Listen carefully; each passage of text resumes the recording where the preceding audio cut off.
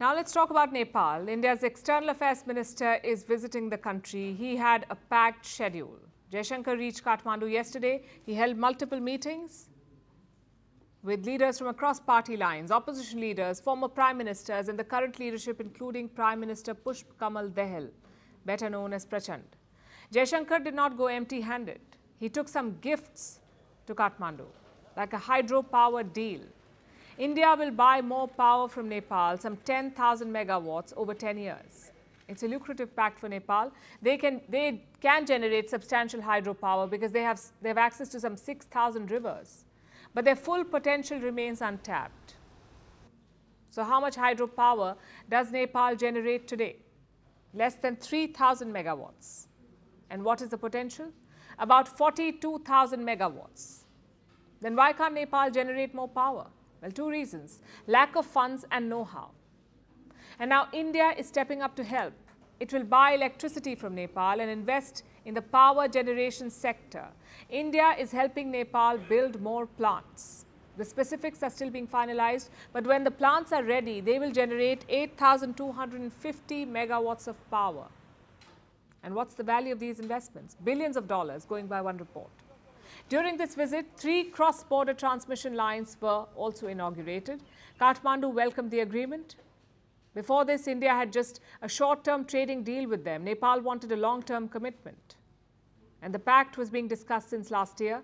Now, both sides have finally signed it. The Nepalese Prime Minister has called it a milestone and a quantum leap for Nepal. And this was not the only deal they signed. The others cover areas like renewable energy, development projects, and space. That's right. Nepal is building a satellite. It's called Munal. India will help them with the launch. And all this was discussed yesterday. Today was day two of the visit. Minister Jaishankar made more announcements. He will extend a new financial package to Nepal to be used for reconstruction efforts. Last year, an earthquake rocked western Nepal. India will help rebuild infrastructure there. The package is worth $75 million.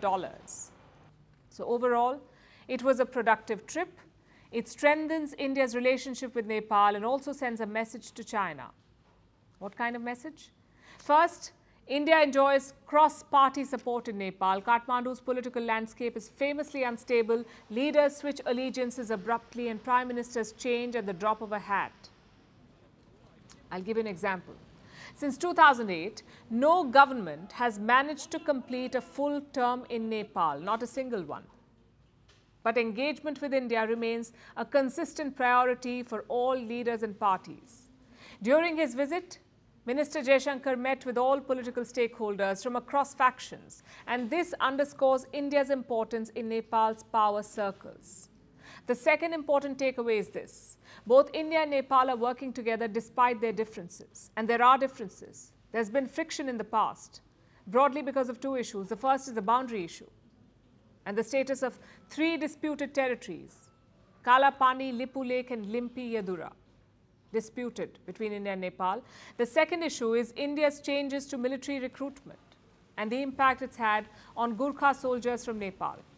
In the past, they could join the Indian army, but recently India introduced what is called the Agni Agnipath scheme. It's basically changed the rules for recruitment. And this has affected the Gurkhas. These issues still remain unresolved, but recent engagements have shown that both sides are willing to look beyond them, to focus on mutual benefits and maintain a positive trajectory in the relationship.